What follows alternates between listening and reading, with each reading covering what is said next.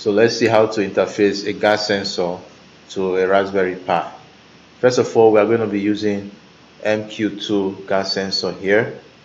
Uh, MQ135, sorry, that's what we're going to be using to run the test. Of course, the same code works for one uh, MQ2, MQ7, and so on.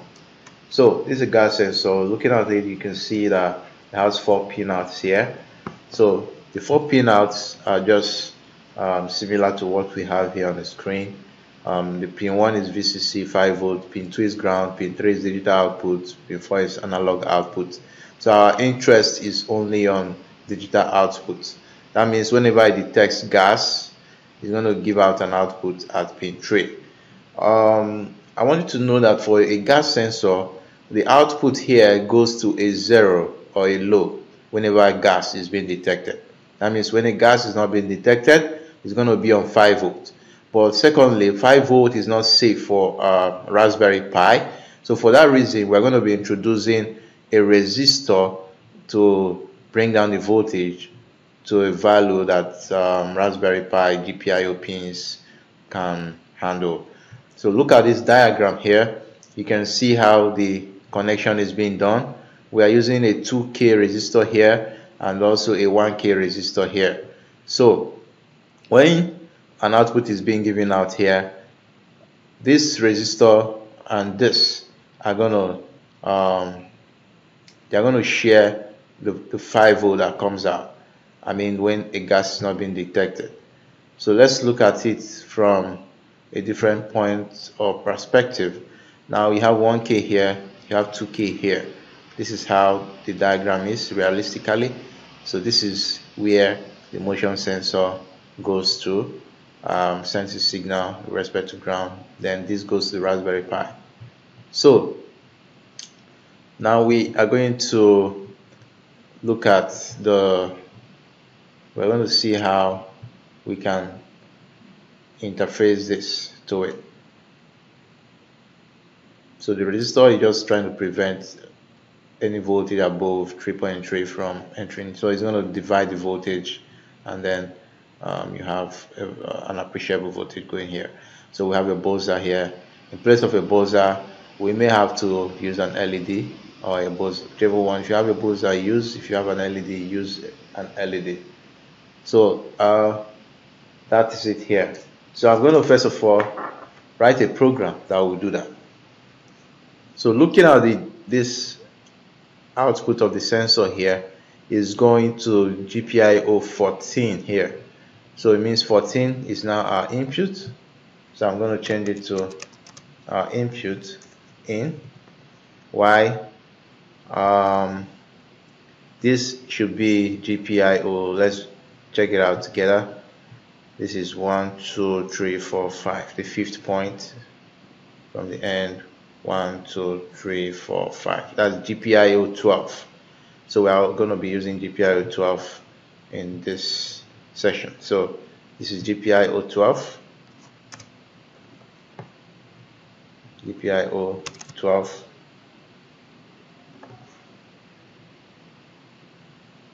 and is an output. Is going to be an output here. It's going to be an output. So here is going to be an output which is 12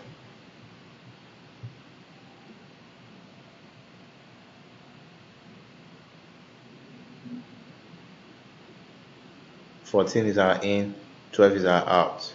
So this is going to be 12 then this is going to be 12 our input here 14 is correct. Output here 12 and that is it but this time around our bottom state is going to be false because that is only when there is a gas leak.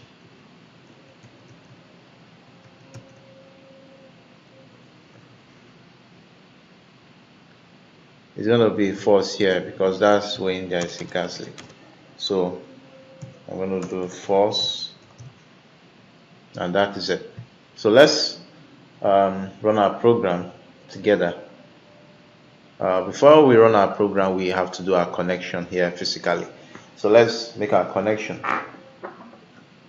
So I, I, I, am going to be using an LED in place of a buzzer. So the same LED I'm going to be working with it.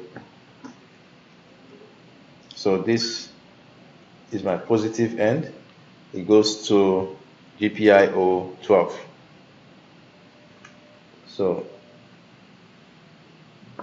that's it here and the other end goes to ground. Ground is just directly above it. Then these are gas sensor.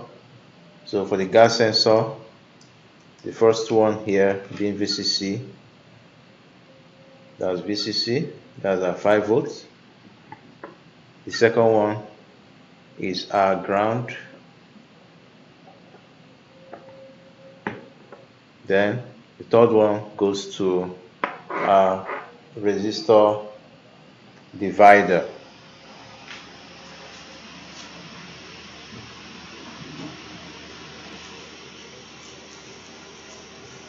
So we're going to be using 1k and 2k so I'm going to get this is 1k this is another 1k so I'm going to combine two 1k resistor to enable me get a 2k value. As simple as that. Then this is another 1k resistor. And that is it. So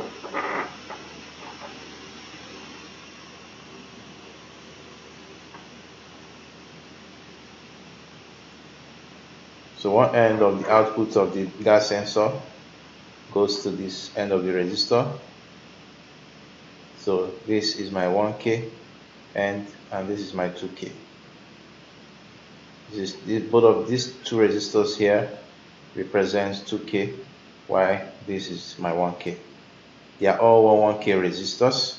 So I'm going to use this directly to GPIO 14 so it's going to go to GPIO 14 so I'll just get a male and wire here that I can work with.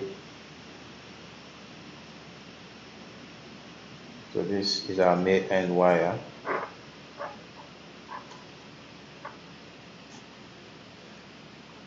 So the male end wire goes to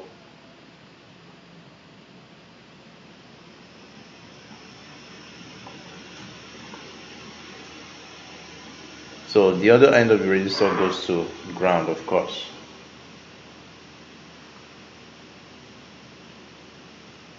I can just use the ground I have on my breadboard. The same ground works. And here is my gas sensor. So it's on right now. Now it's meant to detect gas leakages explosive gas leakages butane methane you know so I'm gonna use this particular lighter here to get my gas I mean pressing the black end here gives you a gas rolling this gives you a fire so I'm going to just press this to see if I'm going to get um, detection here. It has an LED that comes on whenever I detect a gas. So I do this. Can you see that? So the LED is on detecting the gas. So our sensor is fine. So let's now run our script. So I'm going to click on it. We're going to um, start running. So right now it's running. Sorry, one of these wires has pulled out.